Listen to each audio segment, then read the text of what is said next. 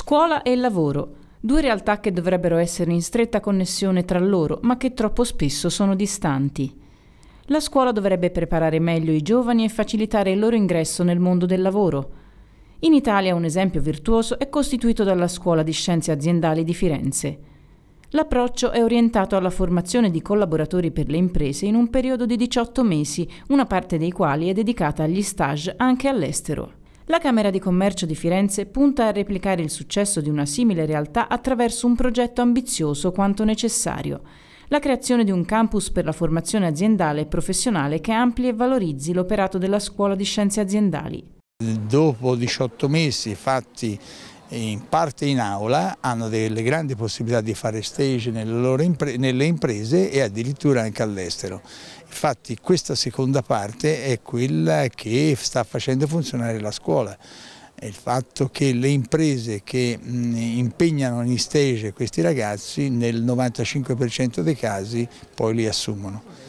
Questo vale per le nostre imprese eh, locali, nazionali e anche per quelle internazionali. Nella mission che la Camera di Commercio ha, quella di essere sussidiaria allo sviluppo dell'economia, eh, funge questa funzione.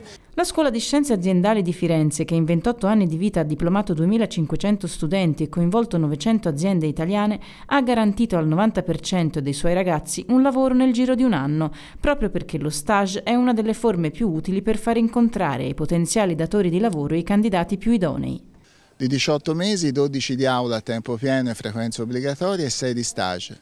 È più un lavoro che una scuola e infatti la domanda più difficile che facciamo ai nostri futuri studenti, tutti di età variabile fra i 18 e i 28 anni, è lei fra 18 mesi sarà comunque portato a confrontarsi col mondo del lavoro, se questo per lei è un elemento di attrattività o no.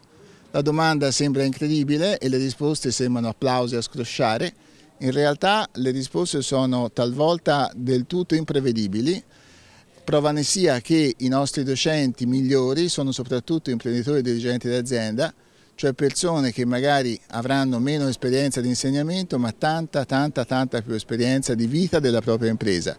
Protagonisti dell'Open Day 2013 tanti imprenditori e dirigenti aziendali, responsabili del personale, ma soprattutto tanti giovani che hanno raccontato e condiviso la loro esperienza con chi ancora si trova a scegliere il proprio percorso formativo. L'affidabilità sul lavoro, la puntualità e l'impegno. Qualsiasi cosa tu vada a fare nella vita servono queste tre cose e qui le impari se tieni duro perché non è semplice, non ti danno scappatoia, non ti danno via d'uscita però qualsiasi cosa tu voglia fare nella vita, io fra l'altro sono giornalista, eh, ti serve venire qua. Quello che viene premiato non, è, non sono tanto le qualità innate, ma sono quelle acquisite. Spirito competitivo e di squadra, ma soprattutto senso di responsabilità.